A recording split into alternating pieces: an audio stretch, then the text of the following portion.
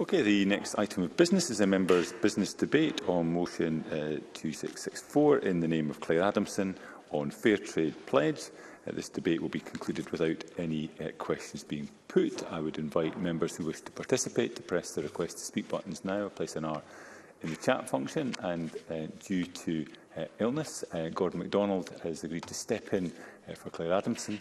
Uh, and I invite uh, Mr MacDonald to open the debate for up to seven minutes, please, Mr MacDonald.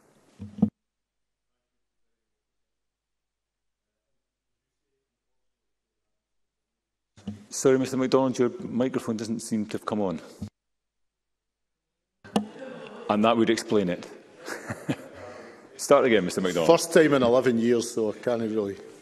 So, uh, unfortunately, as you said, Claire Adamson is unable to speak to her motion the Fair Trade Forum pledge. And as someone who's supported the Balerno Fair Trade Group, my constituency over many years, I hope I can do justice to Claire's motion.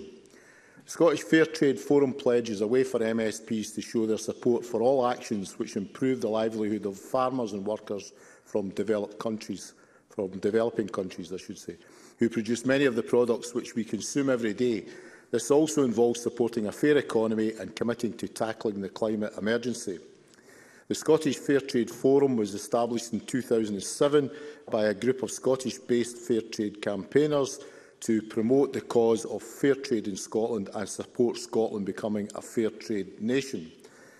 The, it, was all, it has similar aims to the Fair Trade Foundation, which was established by Christian Aid, New Consumer, uh, Oxfam, Tradecraft and the World Development Movement and the Catholic Agency for Overseas Development back in 1992. That same year, the cooperative supermarkets became the first supermarket chain to sell a fair trade product, Cafe Direct Coffee. The first fair trade fortnight in the UK, directed by Barnaby Milne, was launched on the 12th of February 1997 at St Augustine's United Church on Edinburgh's George IV Bridge. He encouraged supporters during Fair Trade Fortnight to go and ask for fair trade products and provided them all with a list of 85 supermarkets in Scotland's cities and larger towns. Scotland was the second nation in the world after Wales to achieve Fair Trade Nation status in 2013 and support sales of products that offer a better deal to workers in developing countries. The result of all this effort is that today there is now over 6,000 fair trade products on sale from coffee and tea to flowers, clothes, wine, beauty products and even gold. What they all have in common is that they carry the fair trade mark certifying that products or ingredients have been produced in safer working conditions, respecting workers' rights and having fairer levels of pay. So why is promoting fair trade important? In developing countries, independent small farmers who work their own land and market their produce through a local cooperative are paid a price that covers the cost of sustainable production. They are also paid a premium that producers can invest in development. By being able to exceed their production costs, they can improve their lives by having access to better education, health care and more nutritious food. We also have the fair trade producers. For example, most fair trade tea is grown on estates. The primary concerns for the workers employed in tea plantations are fair wages and decent working conditions. If the producers agree to pay decent wages, guarantee the right to join trade unions provide good housing where relevant, maintain health and safety as well as environmental standards and ensure that no child labour or forced labour can occur.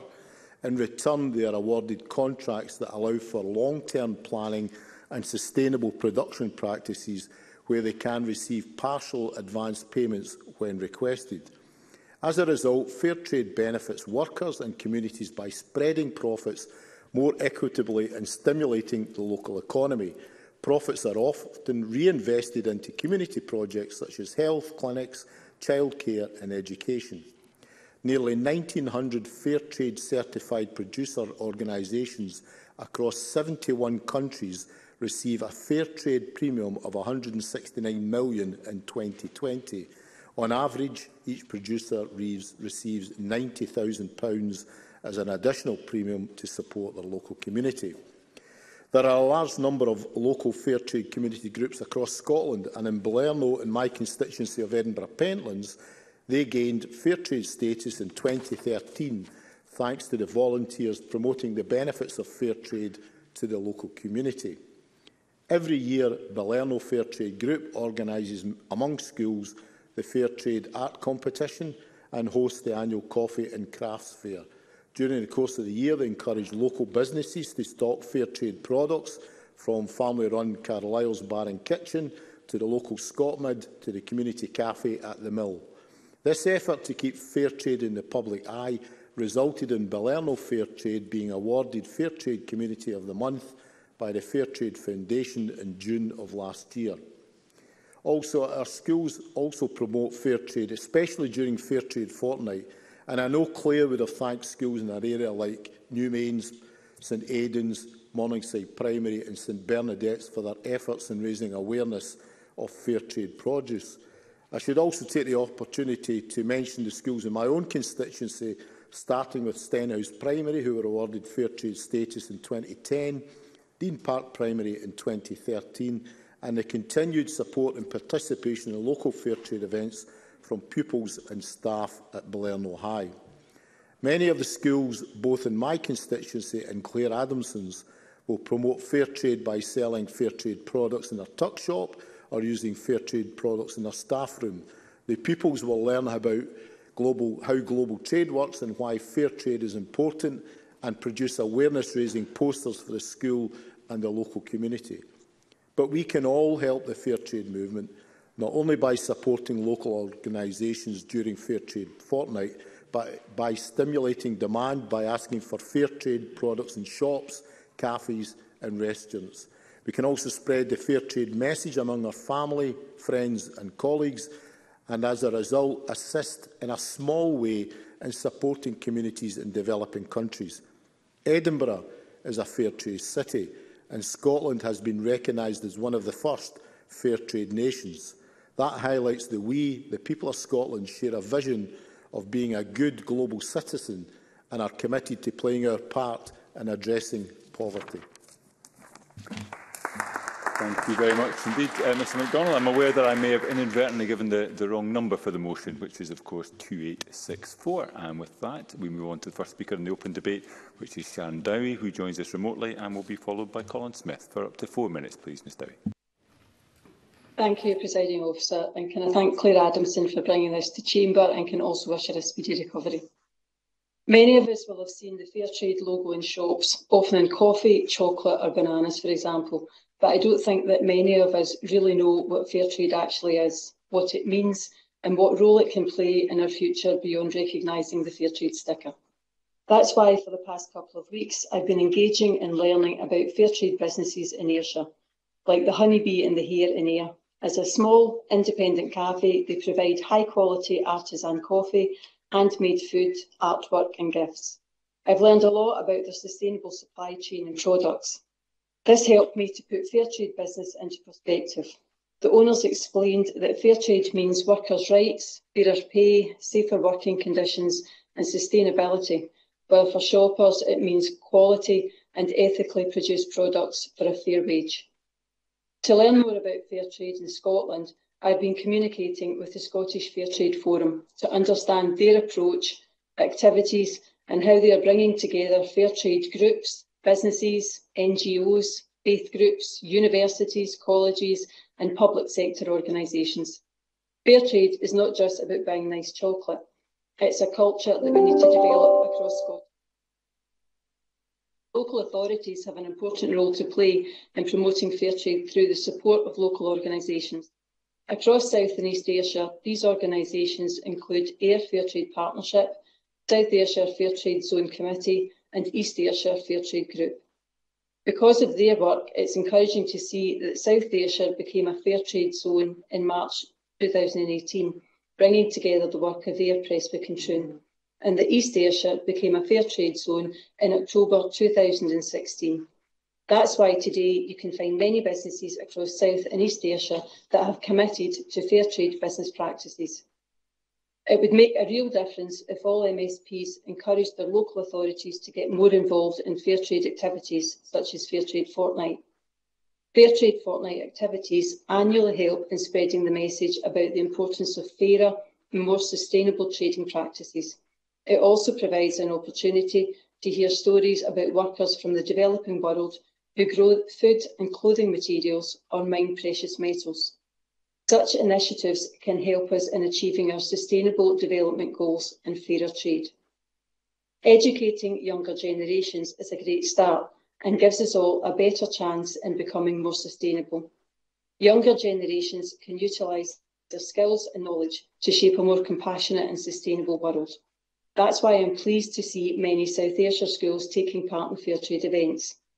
Kyle Academy is a great example where the Geography and RME department won a prize for sustainability at the Scottish Fair Trade Awards in November. I really urge all MSPs to encourage schools from their constituencies to get involved. And finally, presiding officer, as MSPs, there is so much more we can do. We can encourage our councils to do more for fair trade groups and campaigns. who can also sign the Fair Trade Pledge campaign by the Scottish Fair Trade Forum, which demonstrates our support for all actions that improve the livelihoods of workers who produce many of the products that we consume. I'm proud that I signed this pledge in October, but as MSPs, we should be leading by example, and that's why I urge my colleagues across the Chamber to sign this pledge. Also, we should come together and push for more fair trade products in Parliament. I think these steps would demonstrate our unity in terms of achieving fair trade goals. As a fair trade nation, our efforts aim to embed fair trade values across all sectors of Scottish society, whether this means looking for the, trade, uh, the fair trade mark on the products we buy, attending one of many fair trade events, or simply donate to help promote fair trade. Thank you. Thank you, Mr. Terry. I now call on Colin Smith, who will be followed by Paul McLennan. Uh, up to four minutes, please, Mr Smith. Thank you, President Officer, and thank you to Claire Adamson, who I, uh, I wish a speedy recovery for tabling her motion for debate. It provides us all with an opportunity to, to highlight just how important fair trade is, as our able assistant Gordon MacDonald did, but also to say thank you to the, the Scottish Fair Trade Forum and everyone who is part of the, the fair trade journey here in Scotland. It's less than two weeks since Fair Trade Fortnight took place as convener of the, the Parliament's cross-party group on fair trade, uh, as well as being chair of the, the Dumfries and Galloway Regional Fair Trade Steering Group. I'm pretty passionate about fair trade, but, President Officer, it's the local groups, the businesses, the producers in our communities that, that make fair trade fortnight happen. After the past two tough years for everyone, when we've been separated from our, our friends and families, it was great to, to once and again get out and about and in person and take part in fair trade fortnight events. I was lucky to attend a number of events uh, in my region, including the, the wonderful fair trade Big Brew in the Dumfriesshire village of Dunsker, a village I have to say that per head of population must have more fair traders than anywhere in the country. Now, I saw it firsthand at just how tirelessly local volunteers are working to promote fair trade, despite the challenges that we've all faced. And I want to say a heartfelt thank you to every volunteer in every shop, and every organisation, every school right across the country who are helping deliver trade justice for so many vulnerable farmers and workers in developing countries week in, week out. They and the work of parliamentarians, as the motion highlights, are supported in our endeavours by the Scottish Fair Trade Forum under the, the leadership of Chief Executive Martin Rhodes and chairmanship of Chair Charles Sim and Vice Chair Liz Manson, both of whom I'm proud to say are, are South Scotland constituents of mine, and who, along with the other Vice Chair, Rachel Farry of the One World Shop here in Edinburgh, lead the forum. Now, the forum does an invaluable job supplying information, knowledge, training and resources to local fair trade groups. They promote fair trade businesses here in Scotland, including supporting the partnership with producers during the pandemic. But they also support producers worldwide, including having fair trade producer representatives from Malawi and Rwanda on their board. The work of the forum led to the step change in fair trade activity in Scotland that resulted in fair trade nation status being secured almost a decade ago and remains vital as we take the next step on the fair trade journey. Because, President Officer, the fair trade principles of, of better prices, of, of decent working conditions, of local sustainability and fair terms of trade for workers have never been more important than they are now. Fair trade challenges the injustices and unfairness of conventional trade. It also is at the heart of the fight against climate change. Trade justice and climate justice working hand in hand. During Fair Trade Fortnight, the forum arranged for producers from Ghana, Sri Lanka, Kenya, Malawi and Palestine to take part in online events, including our own cross-party group. I was struck during those events by the stories of, of the devastating impact of climate change on some of our most vulnerable developing countries. Farmers of, of crops such as tea, coffee and cocoa who are already battling the impact of volatile market prices and rising production costs with little power in the multi-million pound supply chains they supply are now having more and more to deal with freak weather, extreme rainfall, prolonged dry seasons and the prevalence of plant disease in their crops. a fair trade forum that ensures that farmers and producers in the Global South are paid a fair price for their goods really is a lifeline for those producers, allowing farming to be more resilient and to reduce their own carbon footprint without worrying about affording medicine, food or children's education and housing. Is there more that we as individuals but also as government can do to support fair trade? Well, of course there is. Just ask any fair trade group locally who have tried to get a fair trade sign at the entrance to their village but have been hit by bureaucracy or look at how much or how little, in fact, of the multi-billion pound public sector procurement budget is actually spent on fair trade goods, and it is clear that there is an awful lot more that we can all do. That's why, President Officer, we should be proud to be a fair trade nation, but we should all back that fair trade pledge and commit today to redouble our efforts to support fair trade and by doing so change the world for the better a little bit every day. Thank you. Thank you very much indeed, Mr Smith. I now call on Paul McLennan. We'll be followed by Maggie Chapman for around four minutes, Mr McLennan. Thank you, Deputy President Officer. Can I thank Claire Adamson for bringing this forward, this debate this afternoon, and for Gordon MacDonald for standing in. At a time of global con uh, conflict, it reminds me of how interconnected our lives are in this world. The fallout in Ukraine will not only affect geopolitical matters, but will lead to difficulties in food supply and in food security. Ukraine is one of the biggest exporters of grain in the world. Tectonic plates have shifted politically and economically in the past four weeks since the invasion. How we work together in the world, not only at a time of conflict, but that of climate change and droughts, will impact on, on us all. The wording of the motion includes the wording the Fair Trade Pledge is there to ensure better prices, safe working conditions, local sustainability and fair terms and tra of trade for farmers and workers.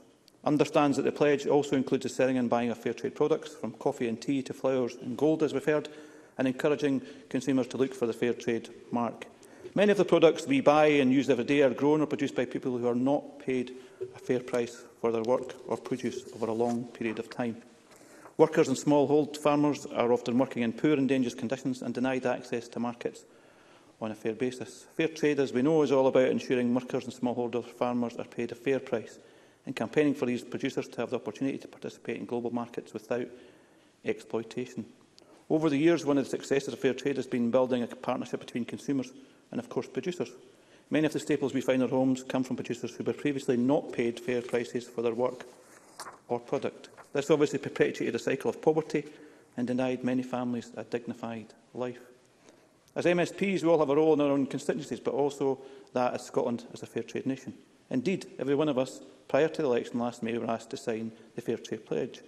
It stated, if, if I'm elected, and next Parliament I will take actions to promote Scotland's fair trade nation status, listen to the voices of producers and global supply chains, support actions to build, a fair back, a uh, build back a fairer economy and tackle the climate emergencies. Also support measures to increase the public procurement of fair trade products. And I know Colin Smith mentioned that, that's something that we need to work with our local councils on, on that. So what can we do practically? We can join our fair trade groups, Uh, I'm a part of a fair trade group in, in Dunbarton and that's going really well. And there's a few other trade groups in East Lothian. Fair trade groups are at the heart of the fair trade movement. They organise, activate and lobby to raise awareness of the need for fair trade and bring about change at all levels. There are also groups that exist within communities, schools, colleges, universities, faith groups and, of course, workplaces. Many workplaces to work towards achieving fair trade status are achieved by our partner, the Fair Trade Foundation. Collectively, These groups make Scotland a fair trade nation and contribute to the international fair trade towns movement. We can also encourage our schools to teach fair trade. The Fair Trade School Awards from the Fair Trade, uh, fair trade Foundation takes a school or nursery on a journey from awareness about fair trade through to embedding it into the life of school and local community. Going for these awards offers a great opportunity to consider global issues from a fair trade perspective. Teaching about fair trade fits within the curriculum and can support pupils to develop the knowledge, skills and attributes needed in their interconnected world. And of course, in business and fair trade, we can encourage businesses in our own constituencies to buy, sell and support fair trade. Ethical consumption is on the rise in the UK and consumers expect more action than ever before from businesses to make their supply chains transparent, equitable and environmentally friendly. What was once a unique selling point is now industry standard. As one of the great successes of the ethical consumer movement, investing in fair trade can help businesses effortlessly signal a commitment to sustainable, responsible and fairer standards in production. Fair trade products fulfil the ethical commitments to fairer wages, improved working conditions, community investment and, of course, environmentalism. President Officer, in conclusion, can I thank Claire Adams again for bringing forward this motion? Let's do what we can do to support fair trade in our own localities and in Scotland. Thank you. Thank you very much indeed, Mr McLean. I call Maggie Chapman, who will be followed by Ruth Maguire for around four minutes. Ms Chapman. Thank you, Presiding Officer. And I thank Claire Adamson for lodging this motion today and for Gordon MacDonald to, for speaking to it in her absence. I wish Claire a speedy recovery. And I offer my apologies to the Chamber. I cannot stay for the whole debate, but I'm grateful to be able to speak now, and I thank the DPO for letting me leave early. Fair trade isn't just good in itself as a system of standards for buying and selling specific commodities. It's also a model for how we can do trade better, both globally and locally, and how we can build fairer, healthier, more peaceful and sustainable relationships within Scotland and across the world. The climate crisis, the COVID pandemic, international arms and, and the conflicts they exacerbate, all of these remind us that we are, none of us, islands, even those of us who live on them.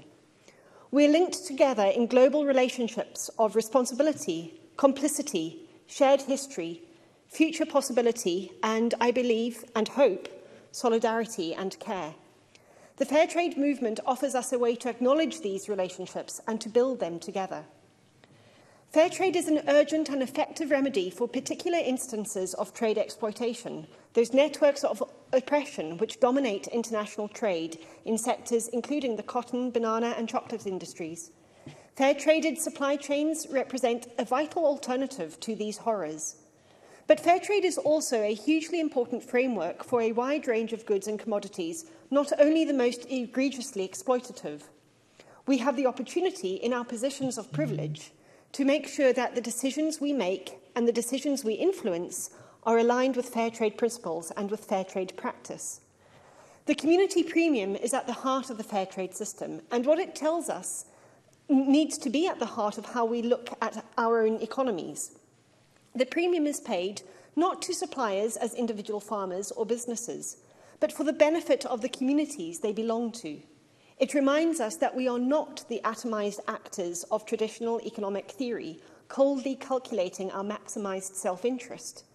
We are communities, ecosystems, neighbourhoods, intricately bound together in shared experience. Our economies, like the economies of co-production supported by the fair trade premium, are there to enable that shared endeavour, not the other way around. Communities in the majority world, the global south, are facing deeper and crueler challenges than ever before, intensifying climate impacts, as we've heard already, the health and vaccine inequalities of COVID, fortress nations clanging the gates shut against refugees, land grabs to feed the rich and fix the net zero balance sheets. This isn't a question of charity. It's a question of basic justice, of fundamental human rights. The best of fair trade organisations know that. They don't just seek increased markets and better conditions for the suppliers they deal with. They're looking for transformational change at every level. And we in the Scottish Parliament, as well as in our fair trade towns and cities across the country, can be a part of making that happen. I'm proud to have signed the Fair Trade Pledge and to celebrate the work of the fair trade movement, not least in the continent of Africa where I was born and grew up. But significant as these benefits have been for many in the majority world, fair trade needs need to go much further, much wider, much deeper. We need not only to, to challenge the worst, the most brutal and cynical forms of trade exploitation, but also our everyday assumptions, our unthinking expectation that the majority world will be a giant supermarket shelf crammed with monoculture goodies to feed our pleasures. In a world where we, rightly, are looking to feed ourselves more locally and sustainably, we need to ensure that everyone can do the same. And I look forward to the day when we need no fair trade pledges, no fair trade certificates, no fair trade labels, when fair trade is simply trade and the alternative is unthinkable. Thank you. Thank you, Ms Chapman. I now call Ruth Maguire, who joins us remotely and will be followed by Sarah Boyack. For around four minutes, Ms Maguire. Thank you, Presiding Officer. I'd like to congratulate Claire Adamson for recognising Fair Trade Pledge and bringing this important issue to the Chamber and um, thank Gordon MacDonald for opening the debate. Presiding Officer, my constituency of Cunningham South sits within North Ayrshire. In 2014, through the hard work of the North Ayrshire Fair Trade Zone Group, supported by the local authority, North Ayrshire was recognised as a fair trade zone. I'm pleased to say that it's been awarded again this year for its eighth year running. And I'd like to take this moment to acknowledge the members of the North Ayrshire Fair Trade Zone Group and recognise the hard work and determination of everyone involved in making this happen. Thank you trading officer, when discussing fair trade, people automatically think about products such as coffee, bananas, and chocolate. But it's not just about the products, it's about the people. Buying fair trade means rights for workers, safer working conditions, and fairer pay, fairer pay, and a product where consumers can pride themselves on buying high quality, ethically produced goods. However, despite efforts from groups such as the North Ayrshire Fair Trade Zone There continues to be a vast number of products which are grown or made by workers who are not treated fairly. These workers often producing goods in dangerous conditions and being denied the same access to markets as other producers.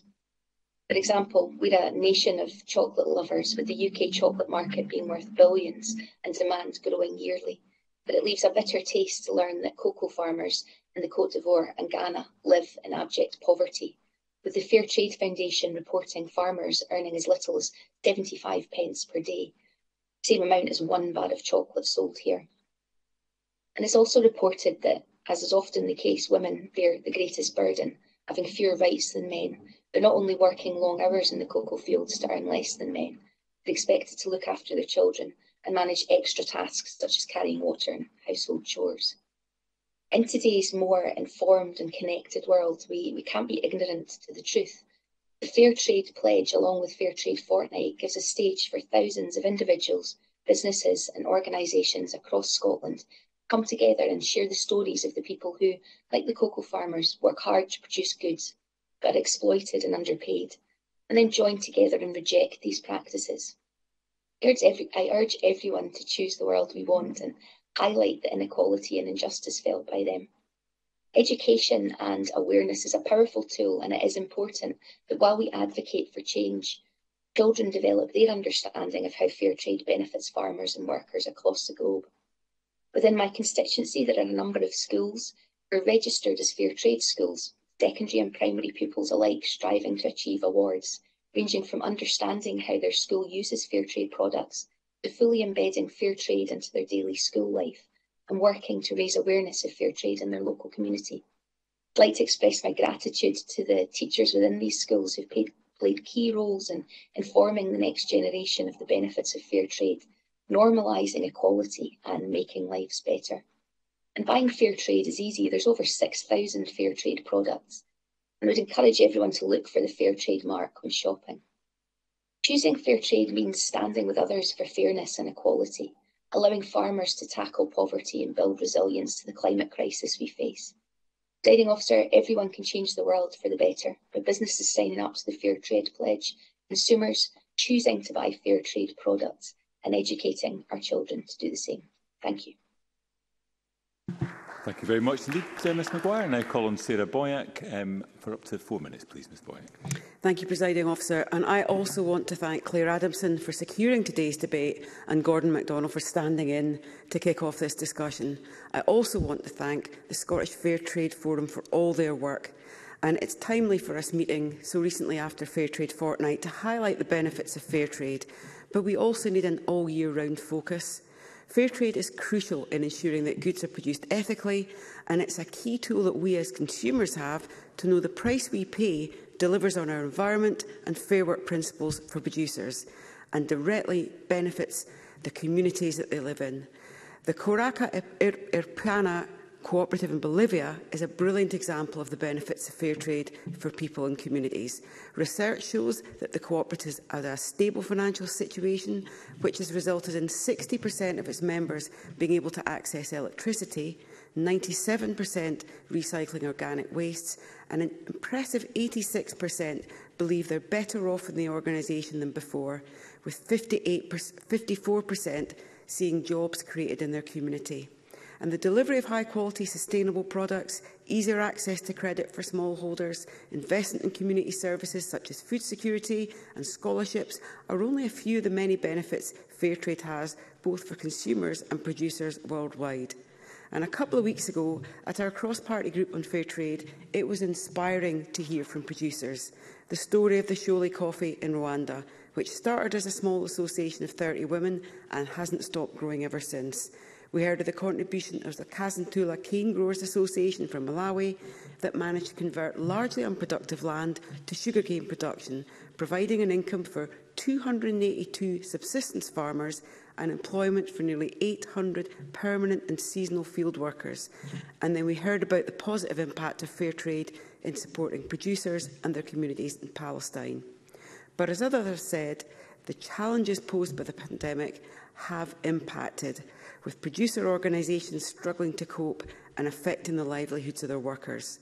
Research shows that COVID-19 significantly affected the business viability of fair trade producers, with a majority reporting a decrease in production, lower fair trade sales and non-fair trade sales in 2020 versus 2019, and a significant minority saw lower prices and number of buyers and the Africa and Middle East region was the worst hit, with almost 70% of the sample producer organisations there reporting a decline in production and sales. So there's much more that we need to do. Fair trade has made a difference to the lives of more than 550,000 farmers and workers in nearly 60 countries. So, as the second country in the world to be named a fair trade nation, Scotland is ahead of the game, but there is so much more we need to do. It's not just us signing the pledge as individuals, it's looking at how we see ethical public sector procurement make the maximum difference it can make. It's looking at what we as consumers can do to support local fair trade shops. In Edinburgh, I'm proud of the fact that we've been a fair trade city since 2004. We've got fantastic shops. Hadil with a focus on Palestinian fair trade crafts. The One World shop which brings fantastic, sustainable and fairly traded goods from across the world. We've access to fair trade products in Oxfam shops on our high streets with products from over 70 countries across the world. And with, as Gordon Mac MacDonald said, cooperative and Scotmid shops in our high streets across Scotland. But at a recent Fair Trade cross-party group, we were also focusing on the fact that we can all buy fair trade goods online wherever we live in Scotland. So there's much more that we can do. Let's hope today's message is a positive one. It's a call to action for all of us that we can all buy fair trade goods. And I'd encourage everyone to go online, check out their local shops and support communities across the world. They need our trade and they need our investment and it's transformative. Thank you. Thank you very much indeed, Ms Boyer. Can I call on the Minister to respond to the debate? Mr Gray, for around seven minutes, please. Thank you very much indeed, uh, Presiding Officer. Um, I wish to, at the outset, pass on my thanks to Claire Adamson uh, and, and wish her well and hope she has a, a speedy recovery uh, for putting forward uh, this motion, but also uh, to my colleague Gordon MacDonald uh, for stepping in uh, so well. I also want to thank uh, colleagues Uh, across the chamber uh, who shared their stories from their own constituencies, as Gordon MacDonald set out uh, so well, uh, highlighting the levels of support that there are for fair trade, the fair trade movement in communities up and down uh, the country.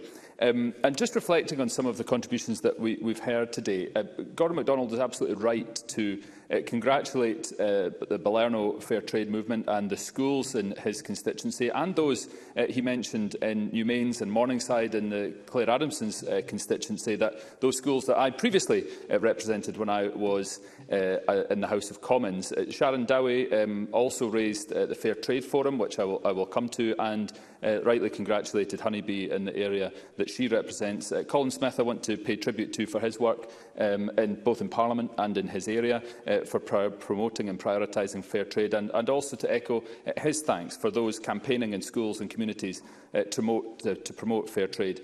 Uh, Paul McLennan reminded us why this is also important, given the horrific events uh, we are seeing in Ukraine. The known uh, cost of that, the human cost of that, is not just isolated uh, to Ukraine. It, it spreads much wider and, and so much... And, and, and so as we look to ensure food supply uh, around uh, the world, we do, must do so with, a, with fairness uh, and producers uh, in mind. Uh, Maggie Chapman reminded us all of our collective and individual responsibilities. Not, uh, this is not about charity, uh, but justice and rights, who's absolutely right. And Ruth Maguire, uh, like her, I congratulate her North Ayrshire Fair Trade Group. Uh, and she reminded us of the work we still have to do to expand products available so we can see better treatment, for instance, for the cocoa farmers uh, she spoke of in uh, Cote d'Ivoire and uh, Ghana. Uh, and Sarah Boyack, um, again, uh, uh, highlighted uh, to us with a, a very real examples of uh, the benefits in uh, Bolivia, Rwanda and Malawi of how fair trade uh, delivers those real benefits for people. And, and, and she's right that we've got more to do. In uh, uh, my own Airdrie Shots constituency, Airdrie became a fair trade town in, in 2015 and North Lanarkshire Council achieved the status in 2020 and many organisations such as uh, Shotts Healthy Living Centre and St Andrews Hospice sell fair trade goods. So um, the, uh, people are absolutely right to, to draw on those experiences, thank them for the work that they're doing. But as Sarah Boyack and others have said, that we've got more work to do there. Uh, President Officer, 2023 marks uh, 10 years since Scotland achieved uh, fair trade nation status. This was an accolade of which we were right greatly proud back in 2013 and which we continue to take pride in as we prepare to renew our commitment to fair trade for a second time. Next year, an expert panel will decide if we can continue to call ourselves a fair trade nation. But what does being a fair trade nation mean? How does it help the 700 million people around the world uh, who still exist on less than $2 a day, the 63 million children who still don't have access to education, or the 55% of people living in rural areas who don't have access to soap and water? Being a fair trade nation means that in everything we as a country do, we do it with the principles of fairness, social justice and gender equity at the forefront of our minds. And as a government, those same principles are at the heart of our priorities, uh, our, policies. And Gordon MacDonald set out perfectly the impact this has with people around the world.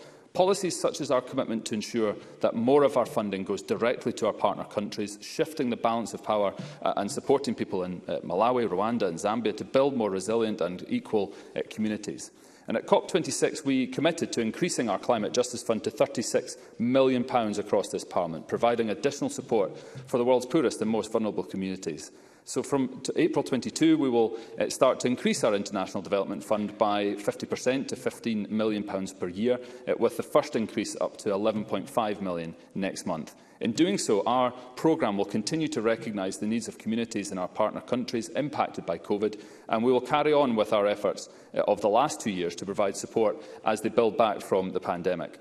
We also remain committed to responding to the global crisis through our £1 million a year humanitarian emergency fund, which over the last two years has been activated for Lebanon, Niger, Ethiopia, South Sudan, Afghanistan and most recently Burkina Faso. But our funding is only one part of our contribution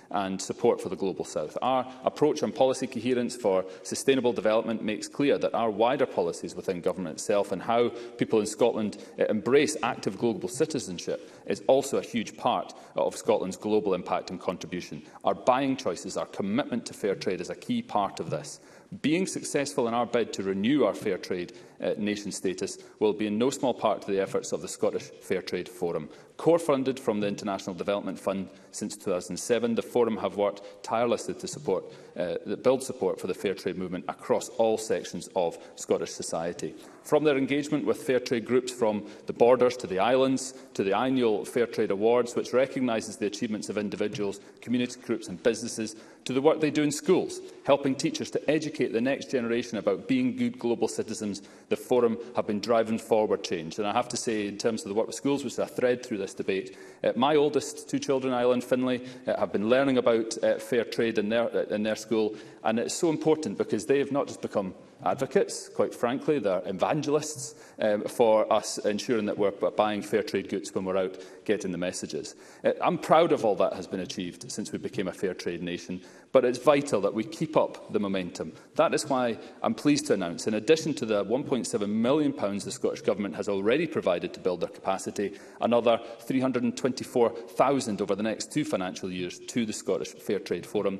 to take forward our Fair Trade Nation work. In addition, I've also signed, like many others the, uh, of my fellow MSPs, uh, the Scottish Fair Trade Forum's uh, pledge, and in doing so, I'm committing uh, to take action to promote Scotland's fair trade nation status. When global catastrophes occur, whether they be natural disasters such as the recent devastation caused by Storm Anna in Malawi or acts of aggression such as the invasion of Ukraine by Russia, we feel compelled to act. But whilst pictures of the daily struggles of fair trade farmers and producers rarely make the headlines, the, new, the challenges they face day after day simply to put food on the table is the harsh reality for millions of people. Sometimes it can feel like there's little we can do to change that. But the simple fact is there is something we can do. We can make a huge difference just by choosing products which carry the fair trade mark next time we shop. The fair trade premium ensures farmers and producers can feed their families, build homes, buy medicine, send their children to school. These are basic human needs, things which many of us take for granted,